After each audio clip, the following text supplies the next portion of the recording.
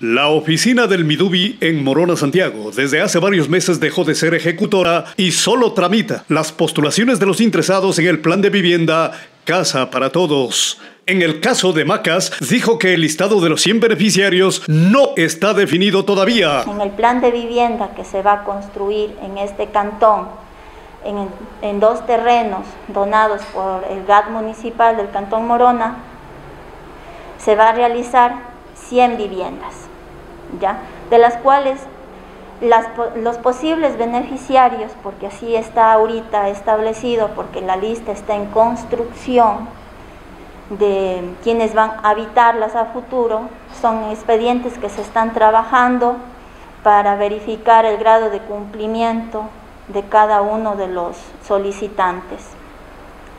Entonces, eh, esa es la misión del, del. Nosotros velamos y en, mi caso, con la oportunidad que se me ha dado de estar en dirigiendo esta oficina, he sido muy cuidadosa y, y lo seguiré siendo para que estas viviendas realmente lleguen a las personas que requieren, que necesitan. Estas personas que priorizamos y que son gente con la tercera edad, con discapacidad, familias monoparentales, personas que tienen enfermedades catastróficas y cada uno de ellos eh, va presentando documentación que respalda todo eso. Entonces eso aclarar porque algunos en estas últimas semanas, muchos comentan de que se está dando viviendas a personas que no necesitan. Entonces yo hago el llamado, indico que mi persona, en calidad de directora de la Oficina Técnica de Morona Santiago, estoy velando que todos esos requisitos realmente se cumplan. La directora del Midubi dijo que no es potestad del municipio otorgar las viviendas del plan Casa para Todos. No, no, no, para nada. Esa es la misión nuestra.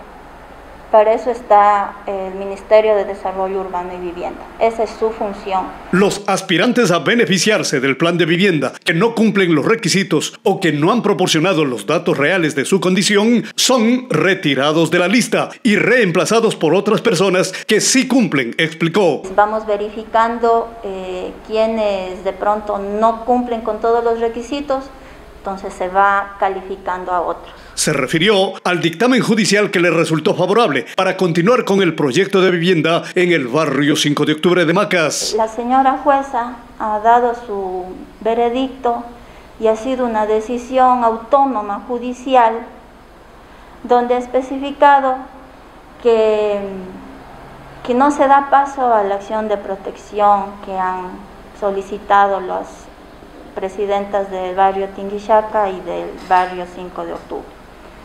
En ese sentido, de parte del GAD municipal, como conocerán todos, ellos expusieron, evidenciaron eh, la realidad de cómo ha estado el estado de esos terrenos.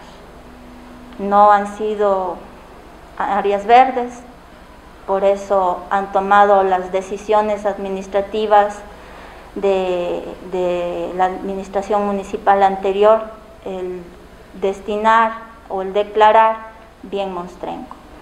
En ese sentido, el Midubi recibe de una forma transparente, saneada, esos terrenos para, para hacer vivienda. Entonces eso eh, explicar a la gente que nosotros una vez que se ha donado, se está velando también para que estos dos terrenos cuenten con todos los servicios básicos, porque eso es parte del convenio que se ha firmado, que se firma con los GATS. Hay compromisos de lado y lado. Entonces, ¿a quién le compete los servicios básicos? Siempre es a los, a los municipios. Expresó que se cuenta con la certificación ambiental para el plan de vivienda del barrio 5 de octubre. El proyecto de vivienda, que son viviendas de dos pisos, eh, se ha obtenido o se ha emitido, es un certificado ambiental. que si ustedes van y revisan en el reglamento del Código Ambiental, en el artículo 427, indica para un certificado ambiental no es necesario hacer una socialización a diferencia de una licencia ambiental. Una vez comenzado con la construcción del proyecto, deberá terminar en cinco meses, adelantó. Que apenas tengamos ya listo el terreno con todos los servicios básicos, o en paralelo con la construcción de la planta de aguas residuales, en el caso de aquí de Morona, la obra deberá desarrollarse en cinco meses. En cinco meses se entregarían estas 100 viviendas. Los proyectos de vivienda para Palora, Huamboya y Pablo VI son realidades diferentes, explicó. Bueno, lo de Pablo VI, Huamboya o Palora, esos son en terreno propio, es otro programa. Sí, eh, Sucúa, Morona, que, estamos, eh, que son similares, es en cambio el proyecto en terreno urbanizado por el Estado, digamos, es una urbanización.